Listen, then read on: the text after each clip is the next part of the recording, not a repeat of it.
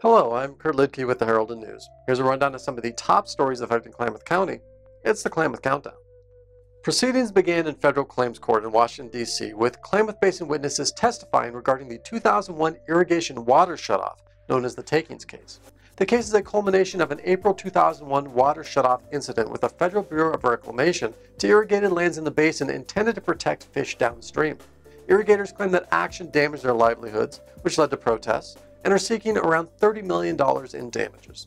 The Herald and News' own Holly Dillemuth is in D.C. currently, providing daily updates of the court proceedings. Crater Lake staff held a public meeting in Klamath Falls Wednesday, encouraging feedback for a proposed trail management plan that will affect recreational opportunities at the national park for years to come.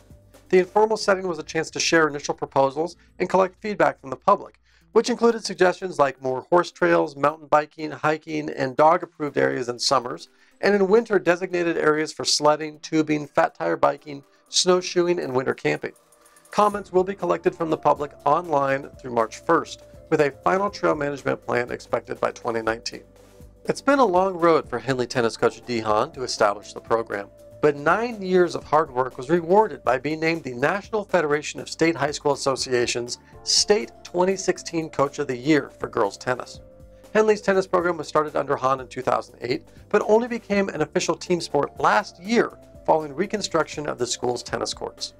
The annual Winter Wings Festival is a few short weeks away, scheduled for February 16th through the 19th, and as always, the symbiotic relationship between birding and photography will be a highlight of this year's events. Plans include workshops and field trips offering tips from how to take quality photos with a phone or tablet to how to touch up images, while field trips will include feeder hops at Running Y Ranch, showing how people can enjoy birding from the comfort of their home with strategically located bird feeders. One of the keynote speakers, Chas Glatzer, is a world famous nature photographer. Will showcase his work and lead one of the field trips, providing a unique chance to learn directly from one of the masters. Remember, today through Sunday is the 57th annual Klamath Bull, Heifer, and Select Ranch Horse Sale at the fairgrounds. You can visit klamathbullsale.com for tickets and special event info. Also, just a reminder, this weekend marks the start of the Herald and News no longer delivering Saturday newspapers. It's not for a shortage of stories, there will still be plenty of content in our remaining delivery dates, and our website will continue to be updated on Saturdays. So until next week, for these stories and so much more, be sure to pick up your daily copy of the Herald and News or visit us online at heraldandnews.com.